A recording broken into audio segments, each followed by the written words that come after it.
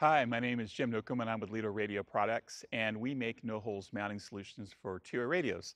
And today we're going to mount a, a, speaker, communication speaker into this vehicle without drilling any holes. And this mounting solution will work with uh, a ham radio speaker, which we have here, and this one's by MFJ, um, or a GMRS speaker or a CB speaker. Any speaker, as long as it has a bracket in it, um, will work uh, with our mounting solution that we have today. And the mounting solution today we're going to show you is our headrest bracket. Cool thing about the headrest bracket is one, we don't have to drill any holes, and two, it brings that speaker up next to our ears so we can adjust the volume and hear what's going on in a noisy environment. Okay, so let's go ahead and install this and uh, check it out in the vehicle. Okay, so we're going to uh, attach the uh, um, MFJ speaker in this case to the headrest mount, and this uh, installation will work with uh, any external speaker out there that has a bracket like this. In most cases, the bracket holes will line up with the Lido mount attachment. Some cases they don't, but like 95% of them do. They usually have a slot in the base like this. And uh, so we can uh, attach our bracket without having to drill any holes, but you might have to drill holes. Um, and so what we're gonna do now is we're gonna release this bracket, take this bracket off, we're gonna attach the, the Lido mount to that bracket, and then we're gonna attach it to the, the headrest mount. And the headrest mount is made of metal, it's an aluminum bracket and has adjustable um, uh, supports for the headrest. Um, and so you can adjust the, uh, the width of this for different headrests, different vehicles.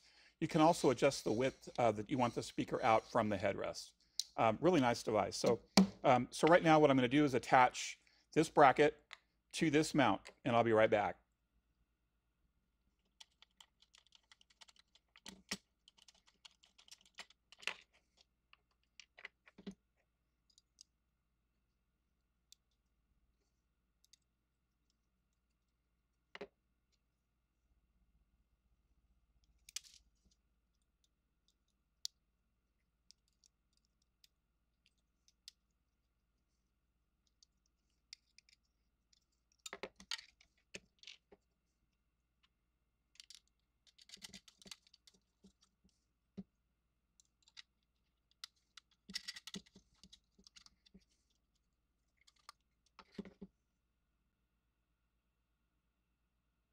All right, so we've attached the Lido mount to the uh, speaker bracket, and now we're going to attach the uh, speaker bracket to the headrest mount portion.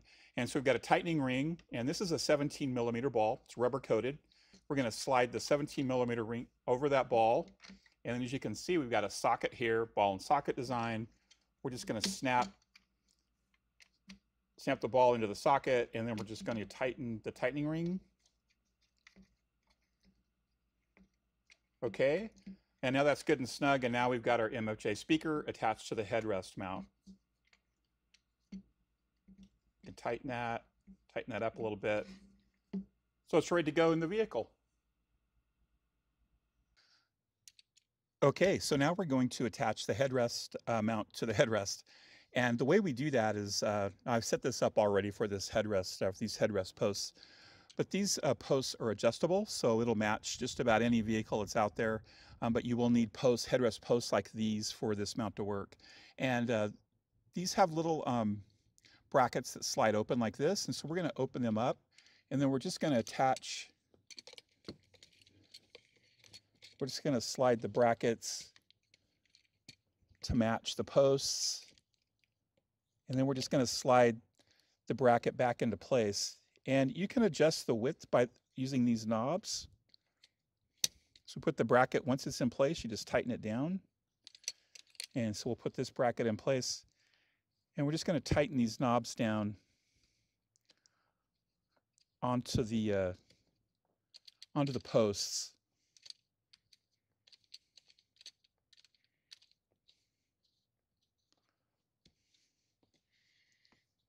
Okay,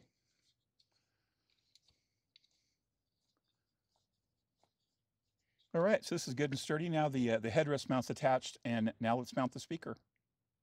Okay, now we're going to attach our MFJ speaker to our headrest mount. Uh, first thing we're going to do is take the retaining ring, and we're going to slide it over the 17 millimeter ball. And uh, the Lido mount has a socket that we've attached to the MFJ speaker in this case. And we're just going to snap it onto the ball like that. And then we're going to tighten the tightening ring get it good and snug. And now our, uh, our speaker is mounted. And since the, uh, the uh, speaker is actually setting on a ball, we can adjust it 360 degrees so we can get the perfect uh, position direction for our audio coming out of the speaker and we can adjust the, the um, length of the, the headrest so if we want it closer to our ear we can move it closer in if we want farther away from our ear we can move it farther out as well. Um, again this mounting solution is great. Um, in this case I've got a ham radio speaker but it'll work great with a CB speaker or a GMRS speaker or anything like that. Again it's a speaker mount and you don't have to drill drill holes in your vehicle